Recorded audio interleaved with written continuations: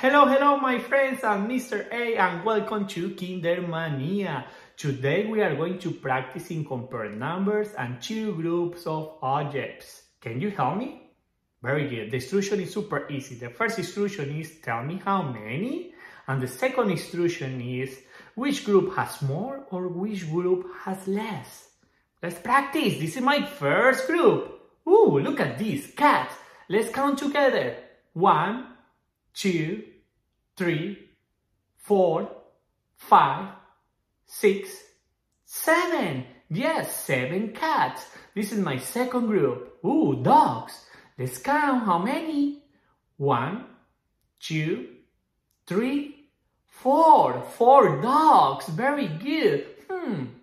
Now we have more cats or more dogs?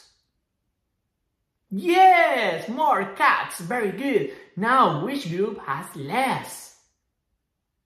Yes, less dogs. Because 7 is more than 4 and 4 is less than 7. Very good, my friend. Now, it's your turn to count, okay? This is the group.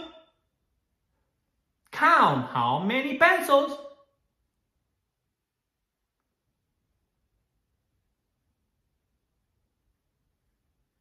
Very good, my friends. Eight pencils. And this is my second group. Count. Very good. Two rulers. Hmm.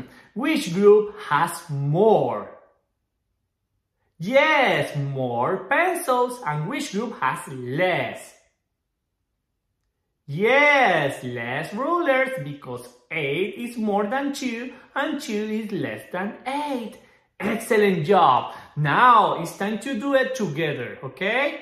Ooh, look at this basketball. Let's count together. One, two, three, four, five, six. Very good. Six basketballs. And this is the second group. Ooh, soccer balls. Let's count together. One, two, three, four, five. Excellent, my friends. Which group has more? Yes, more basketballs. And which group has less?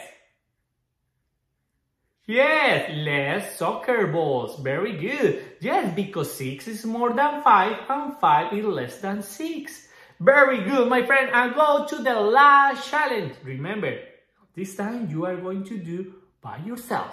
Okay? Ooh, look at these snakes. How many? Good four snakes. And look at this other animal. Whew, a pig. How many? Yes, just one. Which group has more? Yes, more snakes. And which group has less? Yes, less pig. Very good. Yes, because, hmm, four is more than one and one is less than four. Very good. Congratulations, my friends. Very good. And don't forget to subscribe to Kindermania. Bye-bye, my friends.